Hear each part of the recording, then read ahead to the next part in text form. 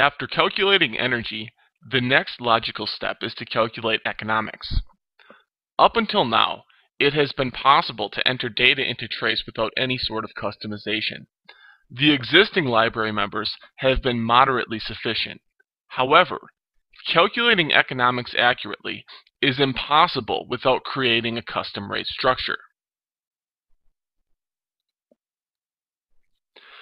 Please take a look at the standard economic rate structures available in Trace. These are examples, and the prices are very outdated. Chances are, if you use these rates for anything other than preliminary runs or for testing, you are going to get slapped. Therefore, now is a good time to introduce the use of libraries. Nearly all components in Trace are kept in a library database. Interestingly, the library database is separate from a trace file. It is important to understand the library database is unique to your computer. Unless, of course, you have a network license, in which case your library database is unique to your network.